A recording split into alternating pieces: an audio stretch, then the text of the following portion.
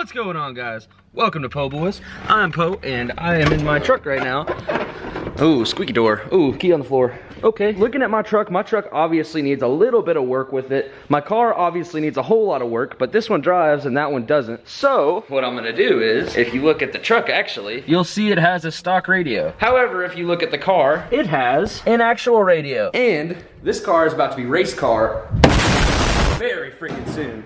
Oh, oh. Okay. So, about to do some race car mods to this thing, about to do some daily driver mods to that thing, so I'm gonna go ahead and get to doing that. But eventually I'm gonna do wheels, tires, bumper, full exhaust, clean it up, do an undercoat, tow mirrors, headlights, tail lights, all the above, maybe some paint work. Um, the front bumper, I could probably stay with that for a while, doesn't need a change, but these headlights are pretty bad. But uh, needs brake rotors, the belts, pretty much everything on the belts needs to be fixed, the AC compressor and the AC blower motor needs to be fixed as well. Right now I just want a radio, so I'm gonna turn the freaking radio on in the truck. Well, not. All right, folks, I need to take this dash off. How do you do that?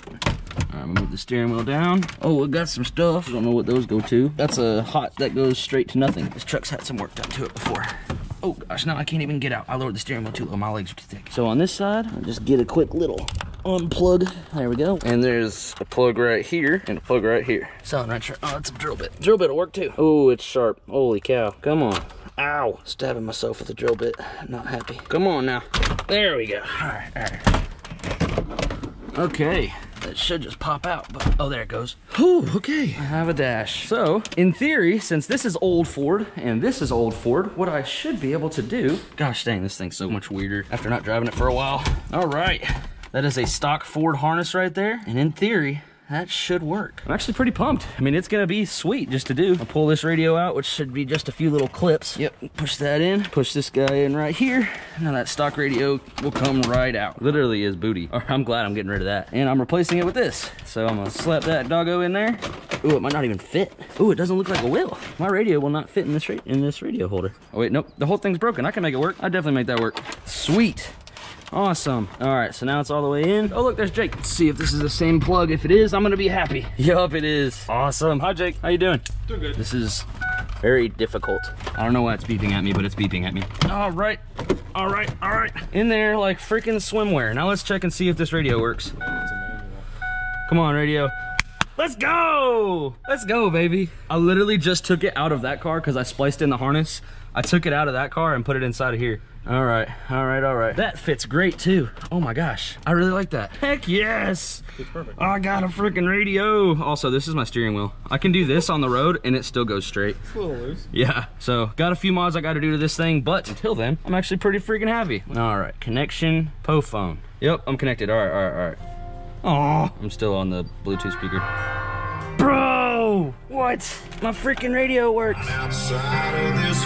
Outside of this church town, there's a This is sweet. I love it. That worked well. I love it a lot. I literally just got here like five minutes ago. That was the first thing I was gonna do. I was like, I'm gonna slap a radio in this dog. There you go. I'm big happy. I honestly thought that was gonna take longer than it did. Yeah, that seemed to go pretty simple. I'm happy. And this right here, stock radio. GoPro. oh, it shattered straight on the screen. Not on the screen, on the on the thing. It didn't scratch. That didn't work as good as I thought it would. Let me try this with uh, the camera in my hand. There we go. No one likes stock radios. Do what? What turbo is this? That's the turbo from my twin turbo kit. Oh. Freaking all the wheels inside of here. You see if I can Transmission. make it spin by blowing into it. I bet you could, honestly.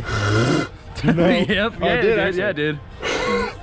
That's There's awesome. like no resistance. So That's it's kinda- freaking funny. Dude, I'm actually, I'm pumped right That's now. That's naturally aspirated. That was one of the biggest things I was kind of bummed about is how my radio wouldn't even play music. All right, so the first mod I have is the uh, radio inside the truck. And now what I've got is some taillights. And wanna know where I got some taillights? I got taillights for my dad's F-250. That looks way better. The reverse lights work and everything. Wow, okay, sweet. All right, I don't have, hmm, I don't have the thing I need. There is a 10. When you find a 10, you always know you're doing good because it's a 10. All right, so can't use power tools because I'm ignorant and I lost the freaking quarter inch adapter.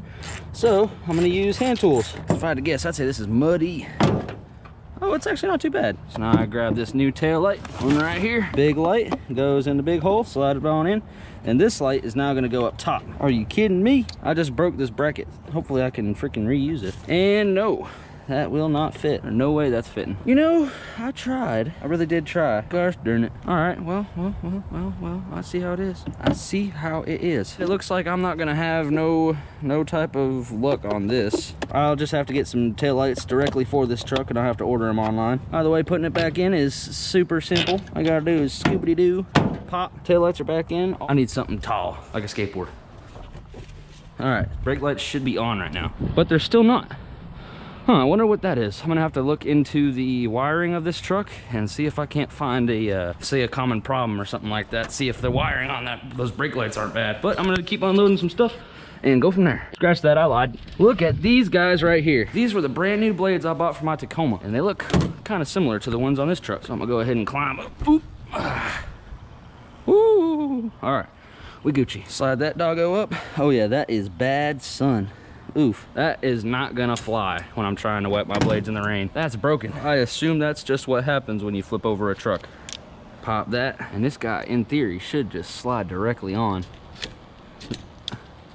That's slid on, and it ain't coming off. Oh, I'm able to reuse my Tacoma blades. Boy, I was so mad when I flipped over the Tacoma. I was like, man, I won't be able to use these blades. Watch this. Do a little bit of Poe magic, and you can make anything work.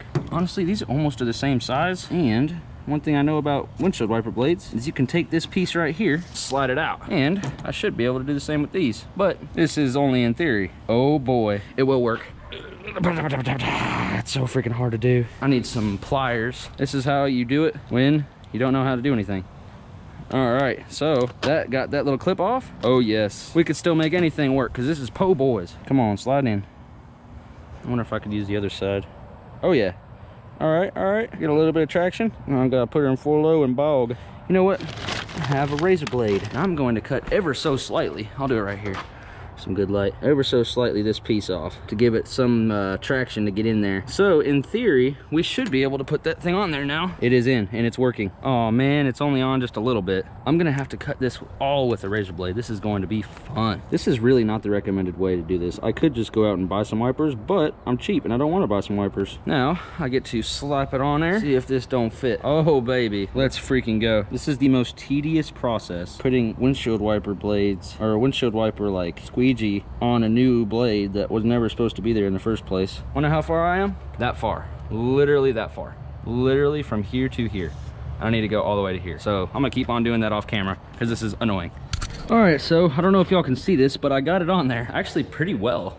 Did you hear that snap? That was freaking solid. So now I got me a windshield wiper out of the old totaled Tacoma wipers that I had. That's actually kind of funny. So they aren't gonna scrape anymore. Pretty happy. I'll put the trash right here. Actually, I'm gonna keep this radio. I'm gonna use this for something someday. It's got a tape player on it. All right, guys. So what I did was I took this key fob right here, and if you'll see, this is a Mustang key fob. I bought two for the Mustang right there because it was like five bucks for a two pack. And there's a little trunk thing. And I was like, I don't know if this will work on the truck. So what I did was I turned it on, and what you do is don't push the clutch in. You have to go ignition all the way on, ignition all the way off, eight times within 10 seconds, and then it'll start beeping, and then you gotta press a button on this key fob, and now it works. Also, another thing, nobody likes antennas, and that means me too. So I'm taking this mug out. All right, much cleaner without the antenna. It doesn't look so yee-yee-ish. That's what I'm kind of doing with this truck is taking the work truck out of it and making it actual nice truck. Um, got the radio in, which is a nice radio. Got the key fob hooked up, the antenna off, new wiper blades on. I tried for the new taillights. I know they'll fit inside of there, but the wiring won't fit. I'd have to wire in and splice new connectors in, but I'm not gonna do that right now because I don't have all the tools to do it. But other than that, I mean, that's pretty much it for as of right now what I can do to the truck without getting any parts in yet. Folks, so um, what we're dealing with right now is it's now the next day, but the truck is not blowing AC at all. So I looked up the diagram and that's the blower motor relay. So I was like, what the heck? Why the heck is that not even in there? So what I'm gonna do is I'm gonna take this relay from the uh, rear defrost and I'm gonna see if my AC turns on now. That might have been the wrong relay. Oh, it was the right relay. Okay, now let's see if this uh, AC works now. Whoa, it blows! Let's go! Okay, so the blower motor is not bad. This truck was a work truck and someone did a lot of goofy work to it. It's definitely blowing hot air and it's set to cold. It smells like West Texas is what it smells like. It smells like dirt, son. Let's see if the AC clutch is working. AC clutch is not engaged. There it goes. Oh, wait, wait, wait. It, it worked. There it goes. It was making a bad connection. What the heck is this? Okay, I need to splice those wires together. That's that's going to be my problem. I just fixed it. I fixed it without even doing anything. So what I need to do now is take this hacked up goofiness right here. I'm gonna cover that up with some electrical tape and I'm gonna take this right here. I'm gonna give it a crimp and connect it. All right, well, that's good. Knew I had some electrical tape in here. All right, so I'm gonna get this electrical tape. I'm gonna throw it onto yonder. I'm just gonna cut these mugs. Never cut two wires at the same time just in case there's a current running to them. All right, so I'm gonna crimp this one side. There's the black wire. Magical. All right, so that one's crimped on. Now I gotta grab one more connector. And actually while I'm here, might as well just crimp that guy on too. So I'm gonna spin it around a little bit, get a good connection and close it down. So that's one connection. And now I gotta do the other. Put that mug on there. I gotta crimp it. All right, that's crimped. Now I gotta go to the other side, put that mug in there, and crimp it. All right, so got two good connections there. I'm gonna heat these up and then electrical tape. Oh, that's not a good connection. Mm-hmm. Always love crimping things and missing. That's always the most fun thing to do. I'm gonna plug this guy back in. Now I'll plug this guy back in, and I should have good connection now. Let me test it and see if it uh, blows cold. All right, I just turned it on. It's running. That inside of there is running. Wait, now it's not. Now it is. Now it's not. Now it is. No, it's not. Are you touching the AC? It's like running and then it stops and it runs and it stops. Is it blowing cold? That's actually a lot colder than what it was. Oh, it's getting cold. Yeah. Do max AC. Let me see if it stays on. Okay, well, it's working fairly good. It's cold off. I mean, it's still, this side's starting to get, this side's colder. I bet if I put some AC Pro in it, it'd make it real cold. All right, so let's see. I'm just gonna assume this is the cold side because the hot side don't fit. Yeah. Oh, can't get it all the way on. The heck? There we go. I'm honestly not against, uh, if I can't get it to sit on there, I'll just hold it. All right, so we got max AC. Oh, it's already getting cold. This is nice. Oh, it took all the can. Oh yeah, it sucked And it it sucked it in. Golly, it's blowing freezing. This is great. This is I'd awesome. roll the windows up and make it cold in here. Oh, it doesn't roll up at all? No, the switch is broken. I need to figure out which pins to, to jump. Dude, this is awesome. It's blowing cold. I'm gonna take the relay out of my fuse box and uh, replace, because I took the, re the rear defroster fuse out and I put it in the AC. Go get one out of the Mustang.